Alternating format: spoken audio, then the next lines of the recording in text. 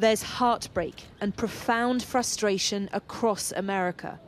Nowhere more so than at the scene of George Floyd's death, where his brother condemned the violence of recent days. Do this peacefully. Please. I know he would not want y'all to be doing this. And I'm not saying the people here, whoever's doing it, relax. Demonstrations and destruction have swept the country. Curfews ignored as chaos rules. The driver of this tanker was arrested after speeding into a crowd of protesters in Minneapolis. Remarkably, no one was hurt. The catalyst for all this volatility, the gut wrenching footage of George Floyd's final hours. It's exposed wounds already so deeply felt over the death of yet another black man at the hands of law enforcement that leaves so many others living in fear.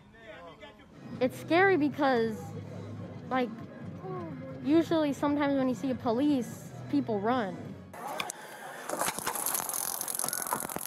Incidents like this in Atlanta, Georgia, are only fanning the flames. These two police officers were later fired for using excessive force against protesters. In Fort Lauderdale, Florida, this footage shows a police officer pushing a kneeling woman to the ground. You can see his own colleagues immediately react with anger. He's now being suspended.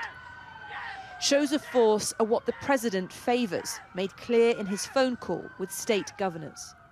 You have to dominate. If you don't dominate, you're wasting your time. They're going to run over you. You're going to look like a bunch of jerks. You have to dominate.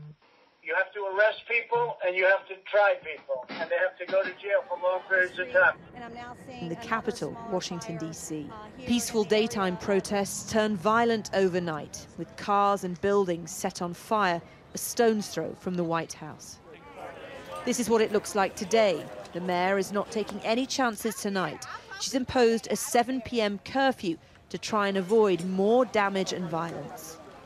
Before lamenting a lack of force, the president was tweeting his usual refrains about approval ratings and fake news.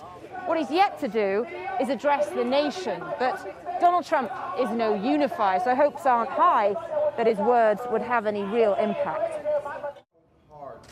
His 2020 Democratic rival is trying to fill the empathetic healer void. Joe Biden visited protest sites in his home city of Delaware. We're going to make sure that the economic recovery deals with the institutional structures, the institutional racism, but also economic structures that need to be fixed. The Minneapolis police chief says that in his mind, the other three officers who have yet to be charged were complicit in George Floyd's death. But justice won't come overnight.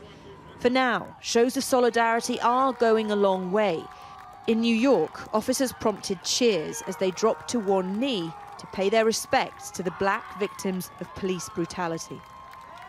Somewhere in the despair, there's some very tentative, small hope that George Floyd's death could be the turning point that America so desperately needs. Amanda Walker, Sky News, Washington.